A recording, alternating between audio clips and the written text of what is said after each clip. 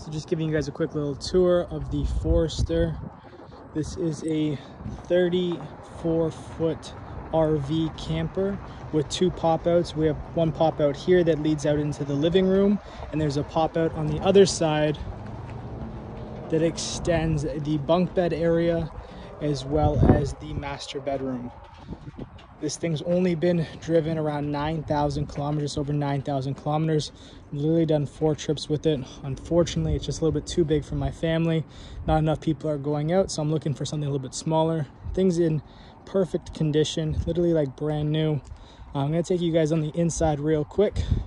Actually, before I do that, I'm gonna show you all the different storage compartments. So you have one storage compartment here, another one here. This is access for your propane, your gas, your water hookups.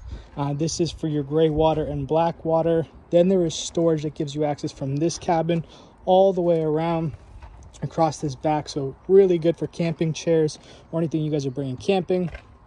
Another storage compartment here. And then you have the side entrance door, the awning at the top.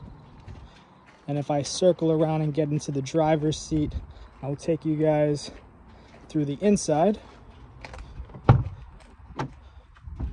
says open up the main driver door here. Gonna get in, give you guys a quick look at 9,135 kilometers. We did install a new radio system that has Apple CarPlay to connect with your phone. There is a backup camera and the uh, Apple CarPlay does connect to Bluetooth so you can pair your phone and talk through here. Co-captain chair. Right above you, you do have a bunk bed area, so a sleeping area above. So this here just pulls over into this crevice, making a full bed. You do have a TV that's on a pivotal um, bracket. Two really nice windows, so when you are camping up here, if it's the kids or yourself, really cool to look out, especially when you're camping at some unique spots. As I lead you to the back of the RV here, you do have a table and two kind of booth style seatings. This does fold down and create another bed here, as well as this couch. This uh, pulls out into another bed. Tons of storage throughout the RV. You have all your upper cabinets here, another upper cabinet, as well as along this side you have your upper cabinets. So here there is Bluetooth speakers connected throughout the RV that you can pair up. Um, we've never really used it. We've just basically used the Bluetooth speaker.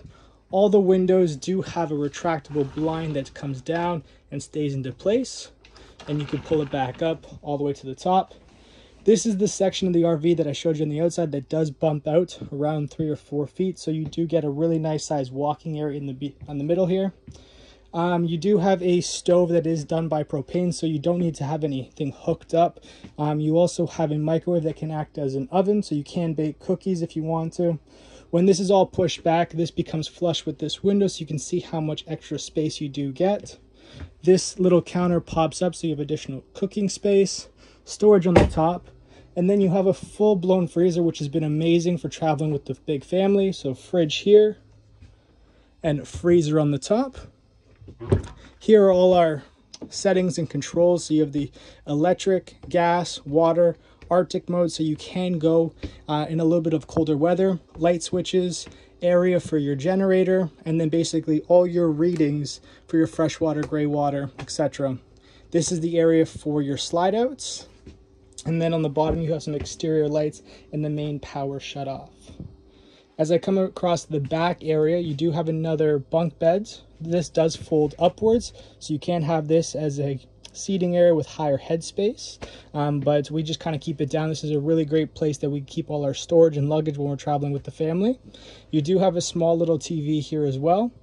And then as I come across the back, we have our full washroom. So here your shower with a little bit of an overhead light, your sink, more storage, and then a toilet that is connected to your black water. So you can empty that out really simply. Here is our thermostat controls for your AC and heat. This is the slide out for the bunk bed area as well as the um, closet space for the bedroom here. So this does extend another like two feet outward. So you do have some walking room. You can refer to some of the photos that I showed.